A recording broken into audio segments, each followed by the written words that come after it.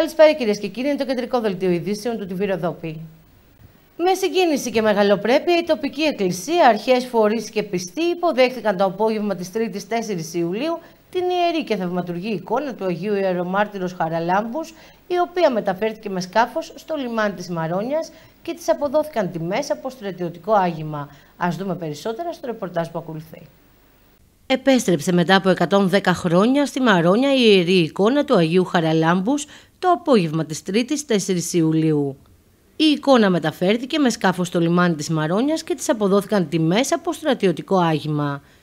Την ιερή εικόνα που μετέφεραν οι Μαρονίτες πρόσφυγες που αναγκάστηκαν να εγκαταλείψουν τις αιστείες τους λόγω της βουλγαρικής κατοχής όταν τους παρέλαβε το αντιτροπηλικό Αβέροφ στις 6 Αυγούστου του 1913 κόμισε στη Μαρόνια ο Μητροπολίτης Πυραιός κ. Σεραφείμ με τις ευλογίες του Μητροπολίτη Μαρονίας και Κομωτινής κ. Παντελεήμονα και ενώ είχε προηγηθεί παρέμβαση του πρώην Προέδρου της Δημοκρατίας κ. Προκόπη Παυλόπουλου, μετά από αίτημα και ενέργειες του Δημάρχου Μαρονίας και Σαπών κ. Ντίνου Χαριτόπουλου. Η υποδοχή της εικόνας του Μητροπολίτη Πυραιός κ. Σεραφείμ και της συνοδείας του πραγματοποιήθηκε στην πλατεία της Μαρόνια παρουσία του Μητροπολίτη Μαρονίας και Κομωτινής κ. Παντελεήμονα, του εκπροσώπου του Οικουμενικού Πατριάρχη Μητροπολίτη Ξάνθης και Περιθωρίου κ. Παντελεήμονα, του εκπροσώπου του Αρχιεπισκόπου Αθηνών και Πάσης Ελλάδος, Μητροπόλητα Αλεξανδρουπόλους κ. Άνθιμου, του Περιφερειάρχη Ανατολικής Μακεδονίας και Θράκης κ. Χρήστου Μέτιου, του Αντιπεριφερειάρχη Ροδόπης κ. Νικόλαου Τσαλικίδη, του Διοικητή της 29η Ταξιαρχίας Πεζικού,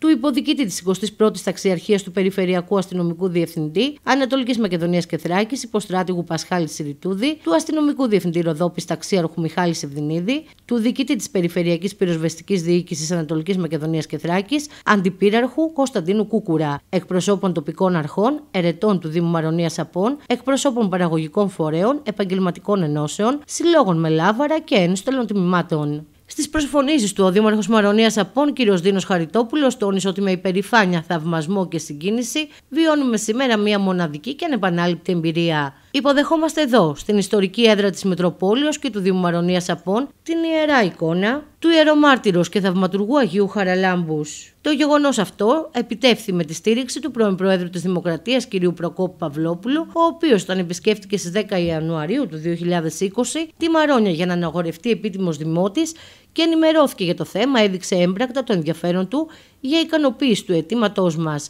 επικοινωνώντας εκείνη τη στιγμή με τον Μητροπόλητη Πυραιός. Καθοριστική ήταν όμως η συνένεση, η προθυμία και η κατανόηση για συνεργασία του Αγίου Πυραιός, ο οποίος από την πρώτη στιγμή αποδέχθηκε το αίτημα, ειδικά όταν συναντήθηκε προσωπικά μαζί με τον κύριο Χαριτόπουλο στο γραφείο του στον Πειραιά και συζήτησαν για την κοινή τους επιθυμία. Προέβησε άμεσες και αποτελεσματικές ενέργειες.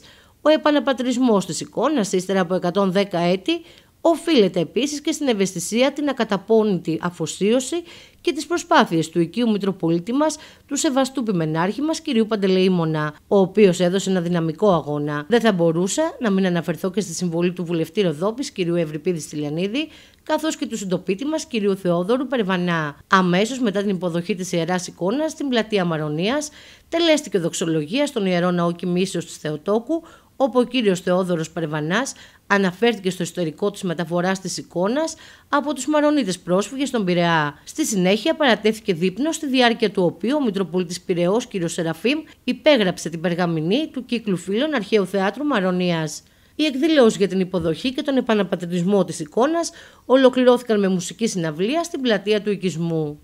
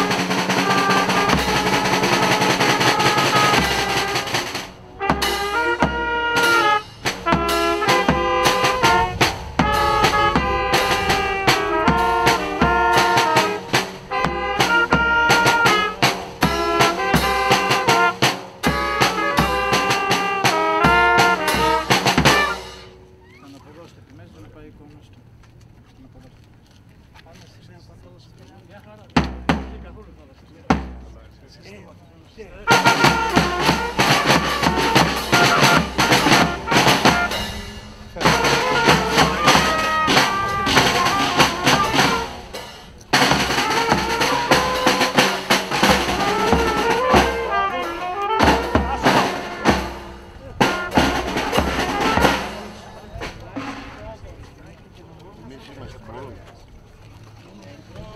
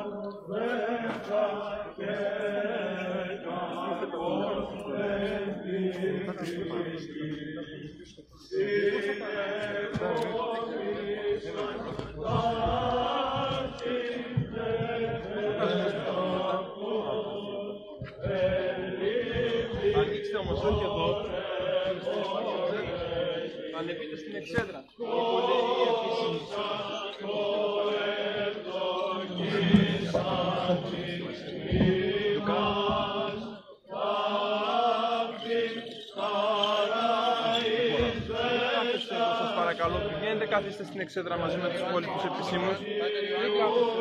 Δεν σας παρακαλώ.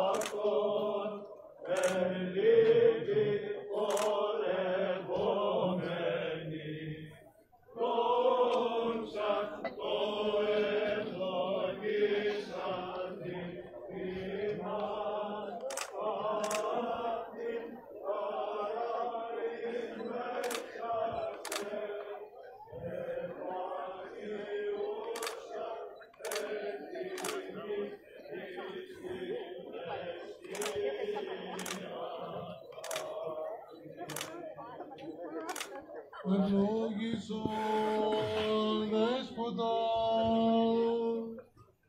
Ευλογητός ο Θεός ημών, πάντοτε νικαίοι και εις τους αιώνας των αιώνων.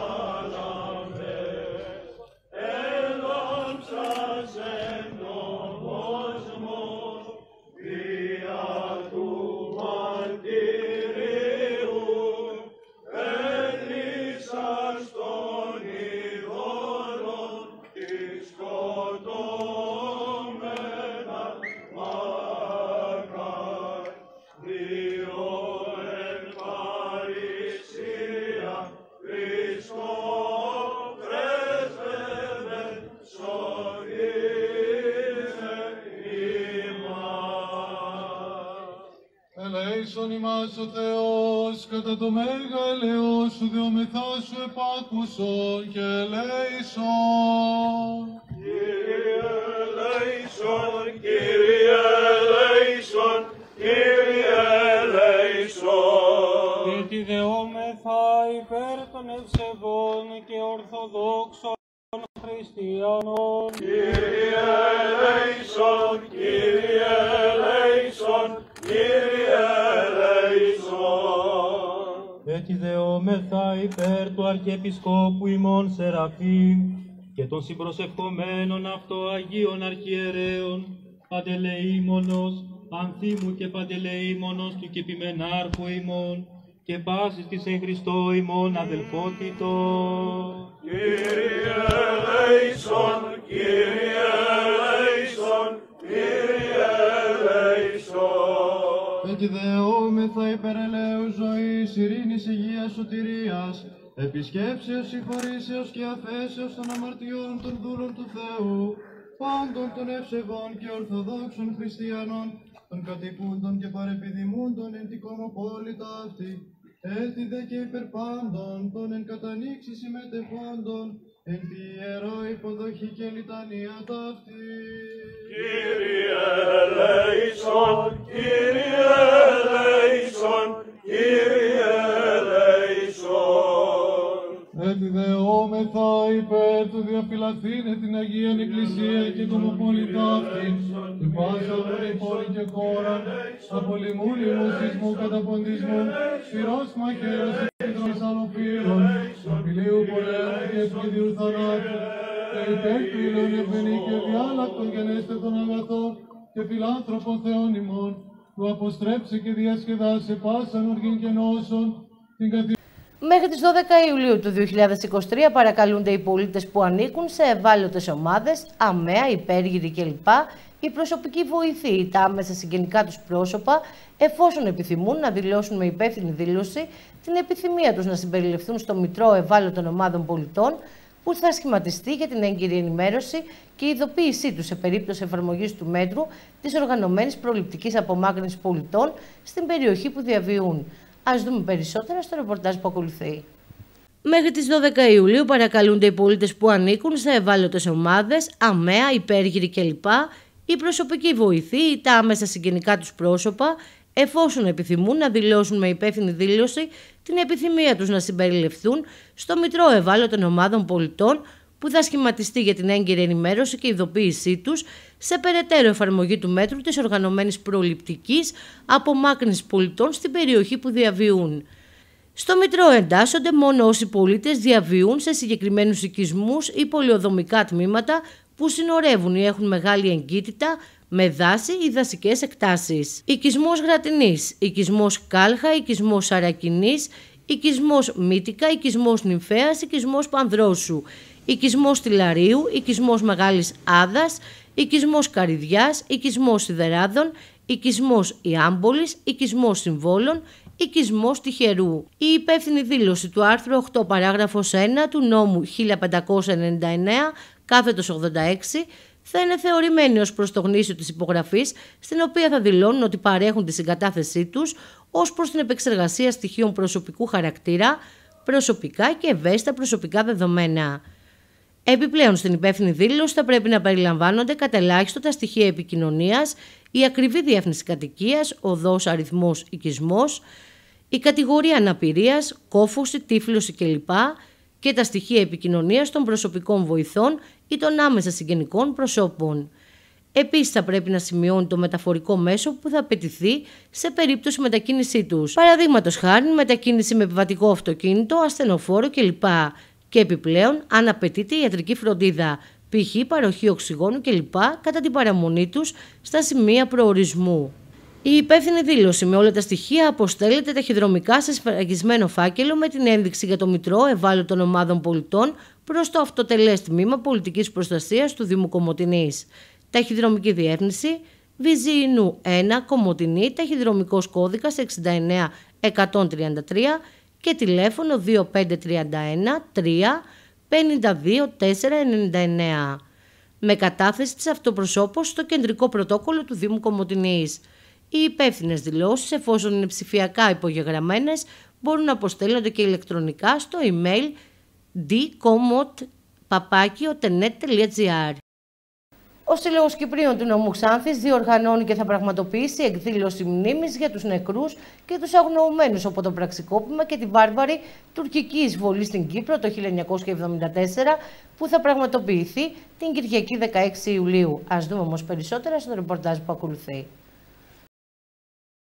Ο Σύλλογος Κυπρίων του Νομού Ξάνθης διοργανώνει εκδήλωση μνήμης για τους νεκρούς και τους αγνοούμενους από το πραξικόπημα και τη βάρβαρη τουρκική εισβολή στην Κύπρο το 1974 που θα πραγματοποιηθεί την Κυριακή 16 Ιουλίου του 2023 στις 9.30 το πρωί θα τελεστεί το μνημόσυνο στο παρεκκλήσι του Αγίου Παντελεήμονα στην παραλία Αυδείρων στο λιμάνι. Μετά το πέρας της Θείας Λειτουργίας, μετάβαση στο άλσο αγνοουμένων για απότηση φόρου τιμής. Και στη συνέχεια θα ακολουθήσει δεξίωση με καφέ σε μαγαζί των Αυδείρων στην κεντρική πλατεία. Τη εκδηλώσεις μνήμης θα τιμήσει με την παρουσία του ο νέος πρόξενος της Κυπριακής Δημοκρατίας στην Βόρεια Ελλάδα, Κωνσταντίνος Πολυκάρπου. Στα πλαίσια εκπαίδευσης και αναβάθμισης των υπηρεσιών υγείας, η Διοίκηση και το Γραφείο Εκπαίδευσης του Γενικού Νοσοκομείου Ξάνθης διοργάνωσαν σε συνεργασία με την ιατρονοσηλευτική εταιρεία Βιταμίκο πιστοποιημένο σεμινάριο βασικής υποστήριξης ζωής με χρήση αυτόματου εξωτερικού απεινιδωτή. Α δούμε περισσότερα στο ρεπορτάζ που ακολουθεί. Στα πλαίσια εκπαίδευσης και αναβάθμισης των υπηρεσιών υγείας, η Διοίκηση και το Γραφείο Εκπαίδευση του Γενικού Νοσοκομείου Ξάνθης διοργάνωσαν σε συνεργασία με την ιατρονοσηλευτική εταιρεία Βιταμέκο πιστοποιημένο σεμινάριο βασικής υποστήριξης ζωής με χρήση αυτόματου εξωτερικού απεινιδωτή.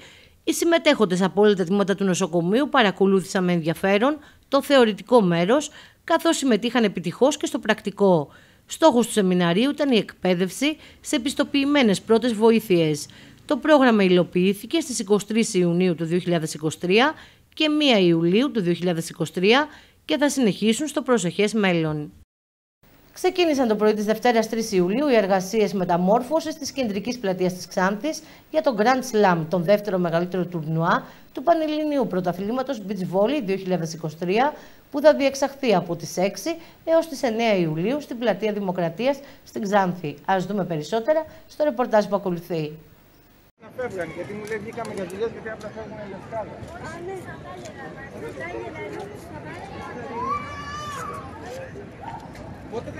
Ξεκίνησαν από τη Δευτέρα 3 Ιουλίου οι εργασίες μεταμόρφωσης της κεντρικής πλατείας της Ξάνθης για το Grand Slam, το δεύτερο μεγαλύτερο τουρνουά του Πανελλήνου Πρωταθλήματος Beach Volley 2023, που θα διεξαχθεί από τις 6 έως τις 9 Ιουλίου στην πλατεία Δημοκρατίας. Συνεργεία από την Ξάνθη και τη Θεσσαλονίκη μετέτρεψαν για τέσσερις ημέρες στην πλατεία της Δημοκρατίας σε παραλία για να υποδεχθούν αθλητές από την Ελλάδα και το εξωτερικό. Το πρώτο ανεπίσημο σερβις του Ξάνθη Grand Slam θα πραγματοποιηθεί στο Δημαρχείο Ξάνθης το μεσημέρι της 5ης 6 Ιουνίου στις 1 το μεσημέρι. Με τη συνέντευξη τύπου παρουσία εκπροσώπων των διοργανωτών ΕΟΠΕ, Δήμος Ξάνθης, Περιφέρεια Ανατολικής Μακεδονίας και Θράκης, χορηγών καθώς και αθλητών και αθλητριών που θα λάβουν μέρος στην διοργάνωση.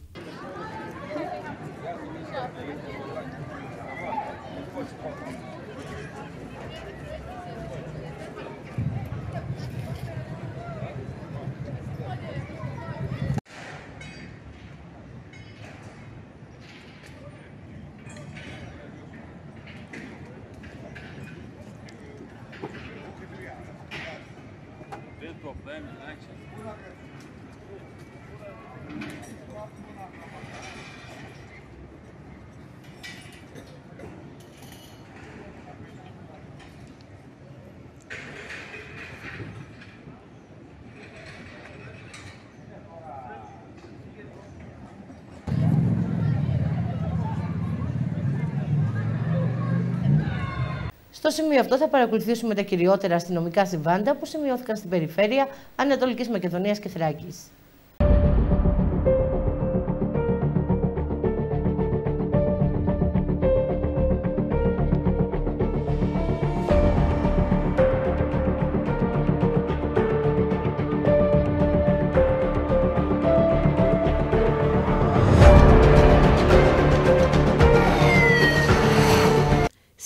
Συνελήφθησαν χθες τέσσερις Εβδόμους σε περιοχές του Εύρου και της Ροδόπης από αστυνομικούς των Διευθυνσίων Αστυνομίας Αλεξανδρούπολης και Ροδόπης, τρεις διακινητές, εκ των οποίων δύο Ολοδαπή και ένας Συμμεδαπό, οι οποίοι προωθούσαν στο εσωτερικό της χώρας σε τρεις διαφορετικές περιπτώσεις μη νόμιμους μετανάστες.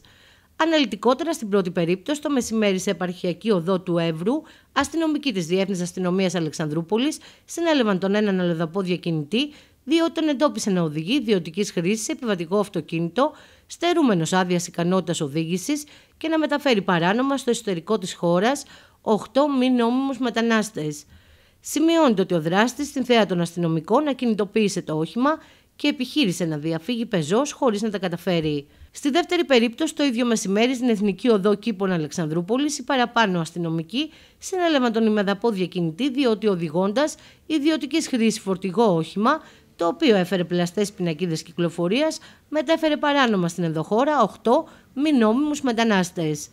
Στην τρίτη περίπτωση, το βράδυ, σε επαρχιακή οδό της Ροδόπης, συνελήφθη από αστυνομικούς του Τμήματος Συνοριακής Φύλαξης ΑΠΟΝ της Διεύθυνση Αστυνομίας Ροδόπης ο δεύτερος αλλοδαπός διακινητής, διότι εντοπίστηκε να οδηγεί ιδιωτικής χρήσης σε επιβατικό αυτοκίνητο και να μεταφέρει παράνομα στο εσωτερικό της χώρας 7 μη νόμιμους μετανάστες.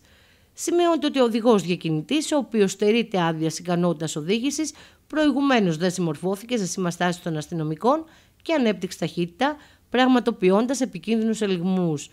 Τελικά το όχημα εξετράπη της πορείας του και κινητοποιήθηκε, ενώ ο δράστης διακινητής επιχείρησε να διαφύγει πεζός χωρίς να τα καταφέρει.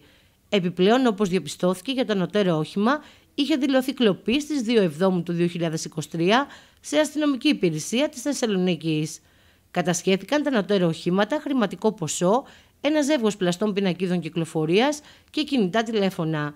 Οι συλληφθέντες θα οδηγηθούν στους αρμόδιους εισαγγελείς, ενώ την προανάκριση για τις τρεις υποθέσεις ενεργούν τα τμήματα συνοριακής φύλαξης φερών και σαπών. Στο σημείο αυτό θα δούμε τα εφημερεύοντα και τα νυχτερεύοντα φαρμακεία για την πόλη της Κομωτινής.